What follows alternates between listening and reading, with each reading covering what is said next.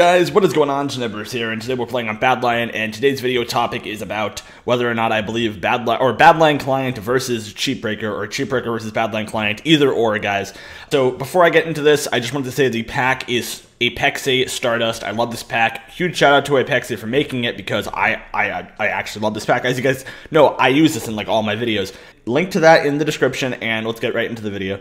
So as most of you guys already know, Cheatbreaker was is a client-side anti-cheat being developed by the MineHQ team, so J-Halt, those people over at MineHQ and Velt and Arcane, basically to designed to stop cheaters from cheating before they're even able to download cheats. Now, of course, the community is in dark of how it's actually doing this, but I assume it would work somewhat similar to the way other client-side anti-cheats, such as Valve or ESEA, work.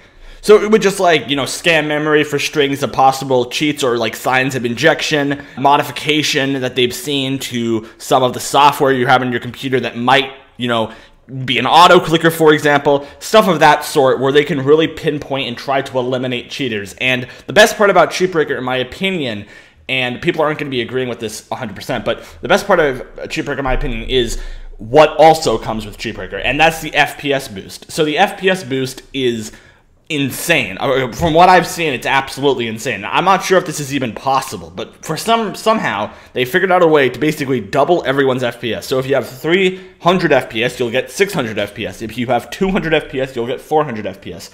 And another good thing about Cheatbreaker is that the people who are trying to make bypasses for it are working already working for Cheatbreaker. So all the people who know how to make clients uh, I'm not going to name names, but just the people who know how to make clients are working for Cheatbreaker, which means the people who make clients are not going to be trying to bypass Cheatbreaker.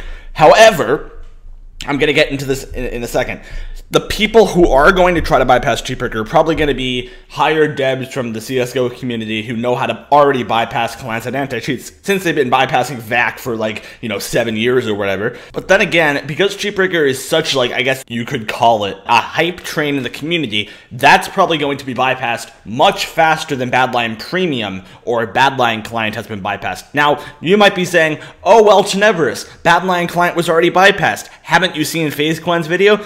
But if you do a little bit more research on the situation, you realize that he was actually detected cheating. So he didn't actually bypass any of their system. And another good thing about Cheatbreaker is the UI. The GUI is sleek. It's very, it looks very professional, very well done. Badlion Clients looks like it's from 1998.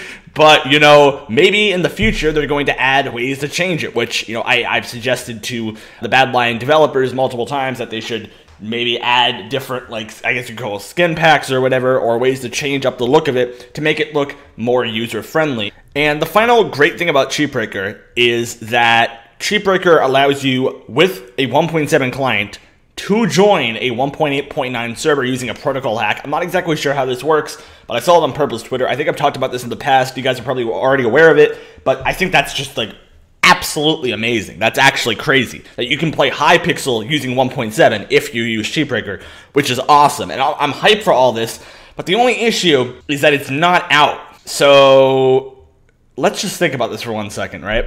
This client seems to be like the best thing to ever occur in the community, right?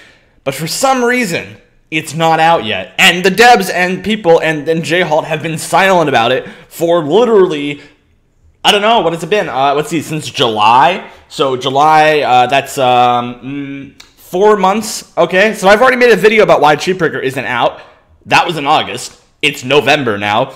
So I'm not expecting them to take it, put it out anytime this year, honestly, considering what I was told is that the anti-cheat part or the driver issue, uh, the anti-cheat part of the client was not actually implemented yet in August, and it takes a long time for someone to develop that. So yeah, personally, in my opinion, I don't really think this is competition considering that one is out and one isn't out. Obviously, Badlion Client's going to be preferable because you can actually use Badlion Client unlike, unlike Cheatbreaker. So yeah, for now, Badlion Client is 100% better than Cheatbreaker because one is out and one isn't. That's literally the only deciding factor because if it's not out, it shouldn't count. Sure, Cheap Cheatbreaker looks better in all the reasons I described before, but the issue is it's not out. So, you know, we'll just wait maybe another three years and maybe perhaps Cheap Cheatbreaker will come along swinging and wipe Badlion Client completely off the face of the earth. But until then, Badlion Client is pretty much the only Minecraft client-side anti-cheat that anyone can download and use.